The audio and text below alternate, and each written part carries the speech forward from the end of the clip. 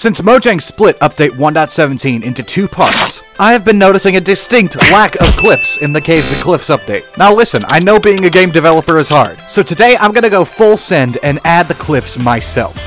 And while I consider myself a pretty good terraformer, we're gonna have to bring in some backup, because there are some amazing builders on this server. Now in the last video, I did 24 hours of mining, so theoretically we should have plenty of blocks to get started. Well, I think we're good on stone, and also deepslate if I want to use any. I gotta say, I've also grown increasingly tired of having to walk everywhere, so we are gonna head to the shopping district and finally buy ourselves an elytra.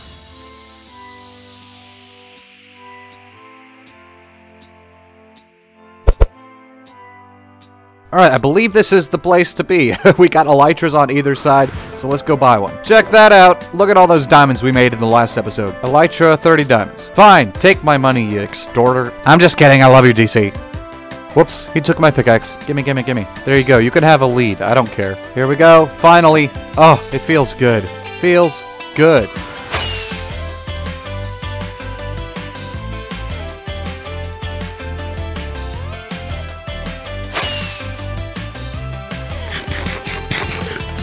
Ah, it feels good. Feels good to be able to fly. Well, guys, we actually passed over this area right here, which is where we're going to be building some of our cliffs. And then maybe some more over on this other side of the path here if Skills doesn't mind. But I think it's critical that we first clear out all the trees.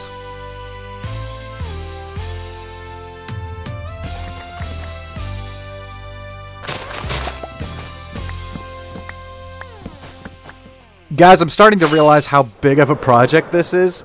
like, I haven't even cleared out half of this thing yet. But it's fine. I'm gonna do it. Hey, you guys want to see the most illegal thing I own? Check this out. I don't. I honestly don't even know how this happened. There's two of them here. They're just on the dirt. I can't bring myself to get rid of those, so we're just gonna have to leave them. Well, guys, we've been able to pretty much clear out this entire area. If I take off here, you can see how much we've done. Just check that out. That whole area is clear. But I think I'm gonna make the peak of the whole cliff kind of pinnacle right there, and then we're gonna have something on top of that. I don't know what. I think what I'm gonna do is actually lay out where I want the edges of the cliff to be, and we'll just start building it up from there. Look at me go. I'm a pro. Look at this. Look at this. I'm such a professional. The only thing I think I'm going to change up from what I just placed down is actually this cliff right here. This I want to be like a really sheer cliff. So it's going to be like going almost straight up, maybe even inverted in some spots, so it looks like a better cliff. Very threatening if you get my vibe. But listen, before we start building, I'm going to go max out my armor and get some actual diamond armor because this is pathetic. And I take like half my health every time I try to land with this stupid elytra. I really should have thought that one through. But you know what? That is okay. So let's take some of these and we'll make some diamond armor. I'm gonna be honest. I don't know why I crafted that when I have an elytra. It's fine. Don't worry, I'm a rich man. Oops, and did I say diamond? I think we've got far too much netherite to make diamond armor. Oh baby, I'm gonna cook up an entire stack of ancient debris.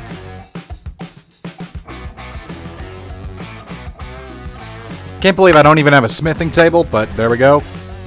Well, if you guys didn't know, actually netherite gear gets better enchantments. So that's the benefit of me doing this first, is that when we actually put it in an enchantment table, we'll probably get better enchantments. Probably? But even if we don't, there's a thing called a grindstone. Away we go. Now listen guys, I've got a question for you today. I want you guys to put your answers down in the comments, but I was just thinking about this. If I was a game developer at Mojang, what would my Easter egg be? Because you know, like Notch had the Notch apple, Jeb has the Jeb sheep. What would Civ's thing be? Just put your ideas down there in the comments and I'll pin my favorite one.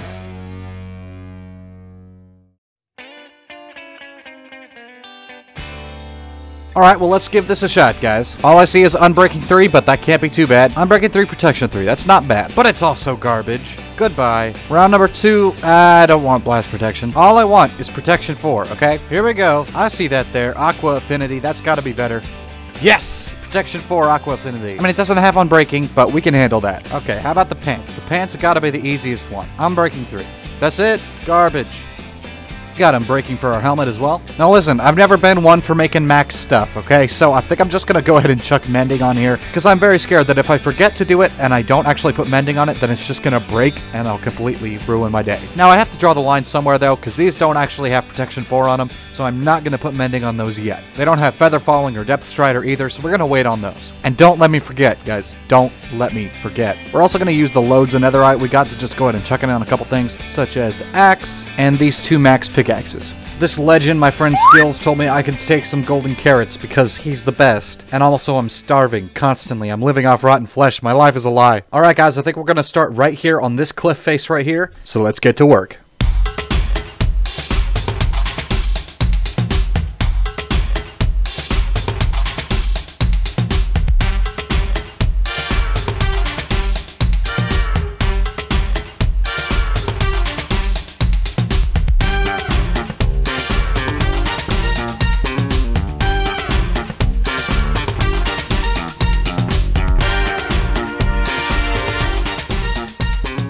Now it's time for a lesson in terraforming with Civ. Basically, guys, whenever I start doing terraforming, I just kind of lay things out. I literally just like spam click. And I know that doesn't sound very professional, but that's honestly the way I do it. And I think about the way I want it to curve and things like that. So like with that over there, I was thinking I wanted it to kind of invert. And so we end up kind of getting these like curving out kind of things. It looks great. Plus, we don't have the same landscape all the way around. So like over here, it was going down into the water. So this can be straight up stone. But like over here, you kind of need to make it fade a little more into the ground. And so like this area right over here, I'm doing out of pure dirt. And then eventually we'll transition it into stone that goes up into the spire.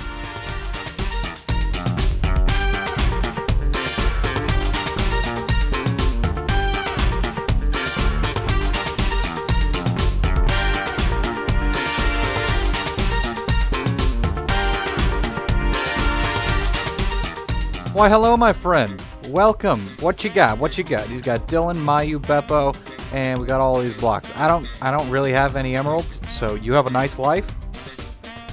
It was short, albeit. How's it going, fellas? I'm just gonna, just gonna give you a big knock here, and uh, have a nice day.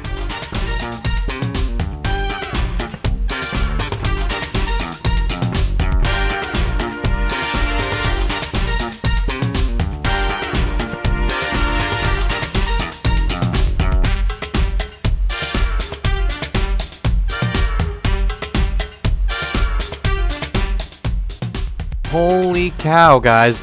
this place is a complete mob trap.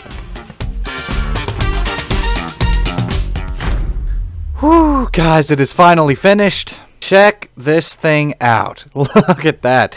It's just huge. Okay, I spent so many blocks on this. And I'm gonna be honest, it doesn't look like incredible at the moment, but that's kind of the point. I was just trying to get all the blocks down first, and then we'll go back and make everything pretty. But I gotta say, these cliffs right here look the best. Plus, once we get more cliffs in here, on the other side of that pathway over there by Skills Place, and also out here in the water, everything is gonna look awesome. One thing that I've noticed is it's very annoying to only have fortune pickaxes, so I'm gonna go ahead and make a silk touch one. Right after that, I met up with my neighbor Skills, and after talking for a bit, we decided that essentially I'm going to take care of this side of his pathway. Anything on the right side of that, however, is going to be up to him, unless of course he wants some help, and I'm always happy to help. Plus, Skills is a great builder, so he gave me some tips on how to improve the cliffs. One of the biggest things he said was to add more grass to it. And just that simple thing made a huge difference. Oh my gosh, yes, that looks so much better. Skills, you're a brilliant man. We'll only have the peaks be actual stone because this just looks so much better. The grass, oh my gosh. Well guys, while me and Skills are working on this over here, I think what I'm to do is go ahead and add some of these stone things out in the water here. Maybe some arches, some cool little crevices, I don't know. But I know it's to look good.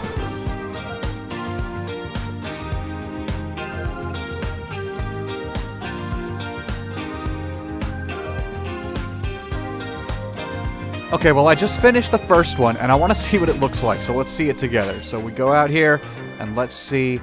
Okay, that actually looks really good. We just need a bunch more of them. Back, fiends.